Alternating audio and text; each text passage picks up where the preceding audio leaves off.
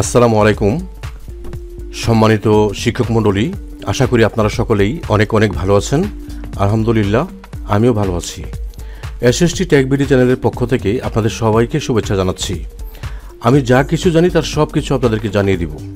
আর সে উদ্দেশ্যে আমার আজকের এই ভিডিও।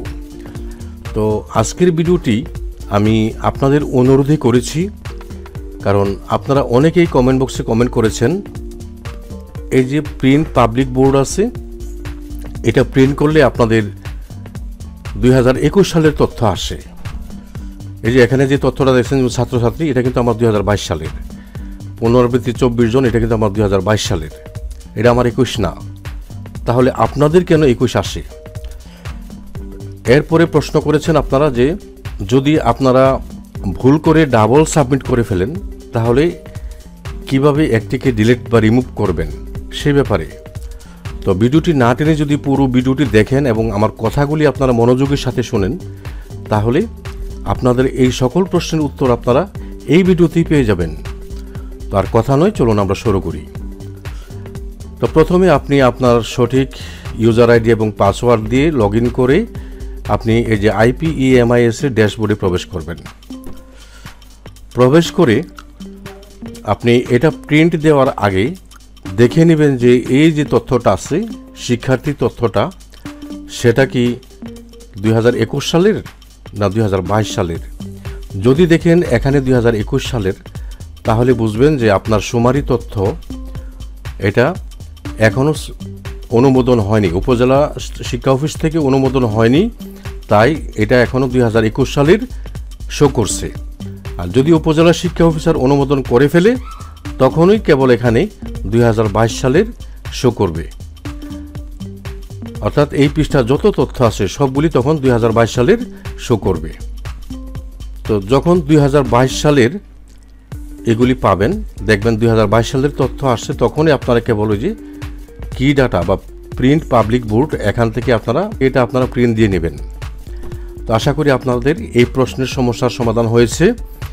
দ্বিতীয় প্রশ্ন আপনারা করেছেন যে যে ভুল করে যদি আপনারা আইপিএমআইএস এর তথ্য বা শিক্ষকদের তথ্য ডাবল সাবমিট করে ফেলেন, সেক্ষেত্রে কি একটি রিমুভ করা যাবে কি না? তো আমার এই কথাগুলি আপনারা একটা মনোযোগের সাথে শুনেন। না ভাই, এগুলি রিমুভ বা ডিলিট করা যাবে না। তবে আপনি যদি সহকারী শিক্ষক হন, আপনি যখন সাবমিট করেছেন, তখন কিন্তু দুটো তথ্যই আপনার প্রধান শিক্ষকের কাছে চলে গেছে। যেমন আমি একটি দেখাচ্ছি আপনাদেরকে যে আবেদনের তালিকায় আমি ক্লিক করব, করার পরে আবেদন সমূহের ইতিহাসে যাব। ঠিক আছে? তো আমার একজন শিক্ষক দেখেন, আমার এই এখানে দেখেন সকল শিক্ষক, আমার এখানে নয়জন শিক্ষক, আমি সহ দশজন, সবারই কিন্তু অনুমোদিত। একটা দেখেন প্রত্যাখ্যান করা হয়েছে, এটা আমি বোঝাচ্ছি আপনাদেরকে।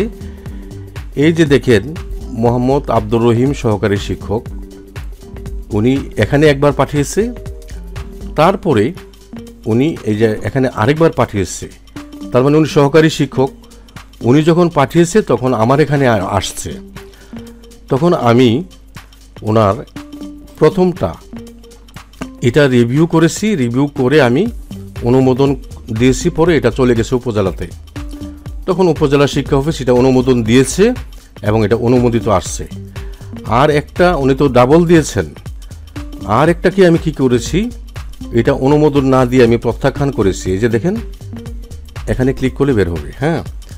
এই যে প্রধান শিক্ষক প্রত্যাখ্যান করেছেন, আমি প্রত্যাখ্যান করেছি, এটার কারণটা লিখেছি ভুল করে অনুরোধ করা হয়েছে হ্যাঁ? এই এই কারণটা আমি দিয়েছি যে এটা ভুল করে উনি অনুরোধ করছে। তো এটা কিন্তু আমি ডিলিট করতে পারি নাই।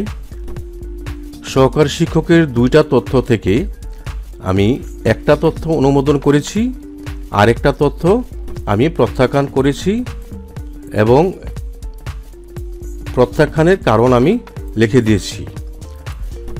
তাহলে আমার কিন্তু ডকুমেন্টে আমার একটাই থাকবে হ্যাঁ? যেমন ওই যে আব্দুর রহিম ওনার একটাই থাকবে, আরেকটা কিন্তু ওনার ডকুমেন্টে থাকবে না। আমি প্রত্যাখ্যান করার পর এটা কিন্তু ওনার ওই সহকারী শিক্ষকের কাছে চলে গেছে, অতএব উনি আর এটা ডিলিট করতে হবে না বা ডিলিট করতে পারবেও না। আর ওনার আইপিএমএস তথ্যে এটা থাকলেও কোনো সমস্যা নাই, কারণ এটা কখনোই আমার উপজেলা শিক্ষা অফিস অনুমোদন করে নাই, আমিও অনুমোদন করে নাই, অতএব এই তথ্য কখনোই আমার এই যে ড্যাশবোর্ডে শো করবে না বা কি ডাটার মধ্যে এটা শো করবে না, অতএব এটা নিয়ে টেনশন করবেন না। আর যদি আপনি প্রধান শিক্ষক হয়ে থাকেন, প্রধান শিক্ষক হয়ে যদি আপনি দুইবার সাবমিট করে ফেলেন, হুম, তাহলে সেক্ষেত্রে আপনাকে টেনশন করতে হবে না, কারণ উপজেলা শিক্ষা অফিস আপনাকে একবারেই অনুমোদন দেবে, দুইবার, দুইটাত অনুমোদন দেবে না। হুম, আরেকটাকে ওনারা অনুমোদন দেবে না, অতএব প্রধান শিক্ষক হিসাবে আপনারও টেনশন করার কোনো কারণ নেই। তো আশা করি আপনাদের এই প্রশ্নগুলোর জবাব আপনারা এখানে পেয়ে গেছেন। যারা দুইবার সহকারী শিক্ষক, দুইবার সাবমিট করলে প্রধান শিক্ষককে বলবেন একটা অনুমোদন করতে, আরেকটা প্রত্যাখ্যান করে দিতে। আর প্রধান শিক্ষক যদি ডাবল সাবমিট করে ফেলেন আপনাকে টেনশন করতে হবে না সেটা সহকারী উপজেলা শিক্ষা অফিসার মহোদয় একটাকেই সাবমি এ, অনুমোদন করবে দুইটাকে কখনোই করবে না। তো এইভাবে আপনারা আপনাদের তথ্য নিয়ে নিশ্চিন্তে থাকবেন কোনো টেনশন করবেন না।